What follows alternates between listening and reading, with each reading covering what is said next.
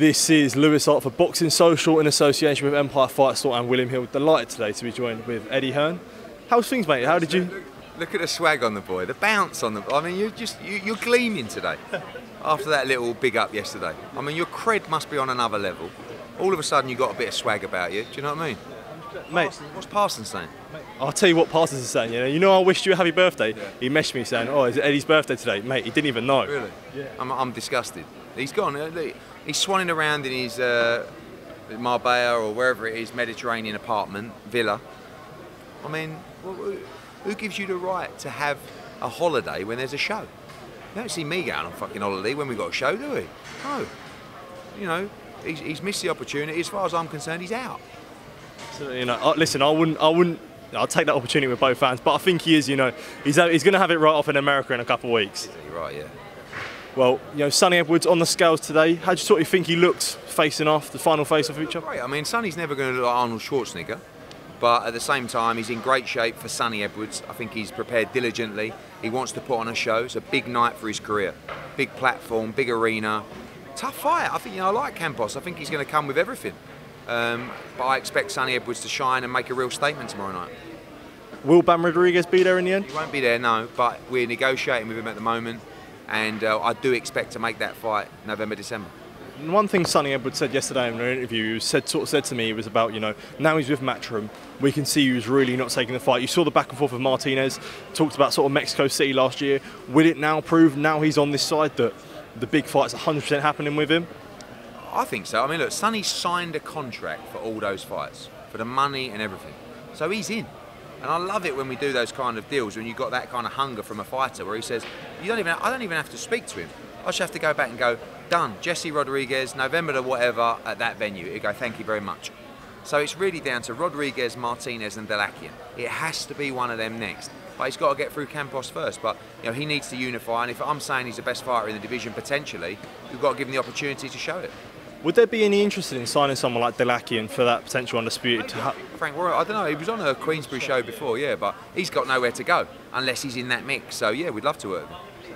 Moving on, I know we sort of touched on it yesterday about the Frank Warren comments, but one thing I sort of didn't ask you from all these comments, when you look at it, you said it was desperation, but do you feel like this is desperation where they've sort of ran out of people to fight? So let's call out AJ. Do you look at it as a PR move then? I just think they don't really know what to do. Like, you've gone full circle. So it's this is your opportunity, AJ. This is at the end of last year. If you don't take this opportunity, I will never fight you. You'll never get this chance again, right? And then six months later, the AJ hasn't even been mentioned, and then all of a sudden he's fighting Jai Opetaia, Demsey McKean, and Jon Jones in like the space of 48 hours, and then full circles to AJ out of nowhere after saying like, you know, you're a bum, you're never going to get this chance. Now I'll fight you again. So it's like, and also, when I spoke to George Warren, we both agreed we weren't going to say anything. Right? We weren't going to go out, start doing interviews, bad mouthing people because it's just going to set us back. And then straight away, Tyson Fury came out and posted it all over Instagram that we were talking like. So I don't know, but and then, that interview came out and like, you just I've just learned over time that interviews like that just take your chance away to be sensible and make the fight because that older generation, and I, and you know, and I said yesterday, my old man included, so people don't think I'm just being like boss. They find it very like I've had arguments with my dad where I've given fighters opportunities that he feel have disrespected us, right? And we shouldn't be working with him anymore. And I say, no, I think it's a good fight. I think it's a, good fight for the show. Well, I fucking wouldn't. And that's the same. That, Frank's the same Another thing, I, you, you can't have a sensible conversation when they're in that mood. I mean, if you can't see that, you and the view that you think that in that mood, I could go, having never really, well, never met Frank before, sit down with him and have a sensible conversation. His head's gone completely.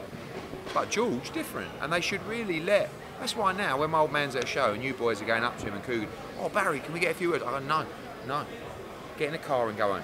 And that's what George needs to say to Frank. Stop it. Like, Dad, please, let me let me get on with it. Because for the first time, we've actually got a line of communication where we've got potential to make fights. I was literally just about to ask you that. You and George are now talking. Obviously, I don't know what your, your what your relationship is like, but is it beneficial that you know these fights could be made where you want to work with each other, where you're actually talking to each other, and there, uh, there's a relationship to be had potentially there. Of course, and I don't know, the, in terms of a relationship, I don't think either of us care. If you say, "Do you like George Warren?" Oh, seems all right, yeah. Never like I've had a couple of coffees with him. Not thinking about going to the cinema or anything like that, but he don't care. Like if you asked him, "Do you like Eddie?" and he'd probably go, mm, not, "Not really," but it doesn't matter. Look at Arum. Like Arum's like like that.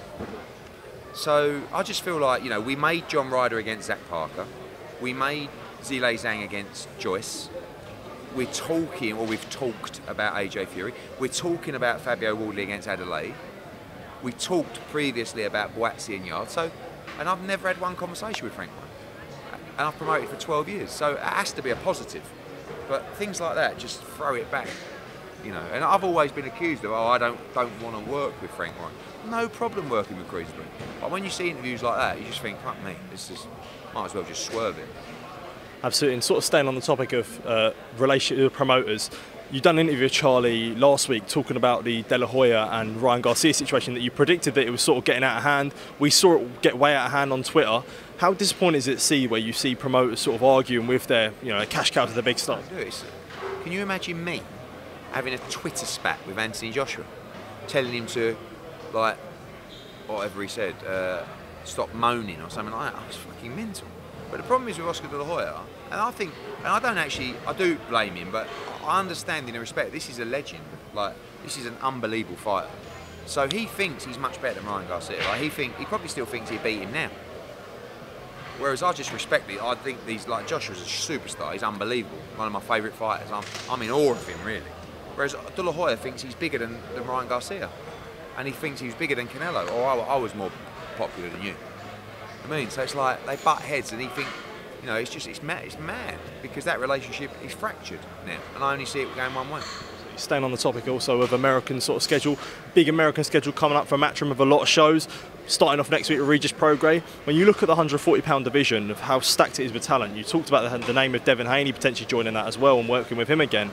How good is it now where you see 140, where you see a, a stacked division where there's so many good fights being made, including Prograis holding sort of all the cards? Yeah, I think it was important for us to get a foothold at 140 pounds. We got a foothold with, I think, the best 140 pounder at the moment in Regis Prograis. He'll fight anyone. He wants to fight Devin Haney. He'll fight Jack Catterall. He'll fight Matthias. He'll fight Josh Taylor. Like whoever. He doesn't. He doesn't mind. So I want him to go and put a great performance together next week in New Orleans. And then, you know, we'll, we, will be pushing the Jack Catterall fight. But obviously, if we get a chance to make a Haney fight, we'll look at that too. Would it be good to sort of work with Haney again after previously working with him before? Listen, we've got a great relationship. And he never wanted to leave. But I couldn't get him that fight. And he had to take it. And we respect that. And if there's a way to bring him back, I think he'd like to. And we would too just literally just the last one from me. See David Adeleye fight tonight. Could we potentially see him mandate for the British title against yeah, Fabio Wardley? I think it's a great fight. I, lo- I, love David Adeleye against Fabio Wardley. Really good fight. Obviously, Joe Joyce was a, uh, Frazer Clarke was a great fight, but he chose to pull out the fight and not accept that fight. I don't believe Adeleye will pull out the fight, and I think I hope that gets ordered. Did you ever see yourself working with sort of Frazer Clarke again potentially? Uh, yeah, Frazer's a good fighter. He just got mugged off. Eddie, thank you for your time, mate. I appreciate the, the words at the start, mate. Put, put a good smile on my way. Thanks, mate.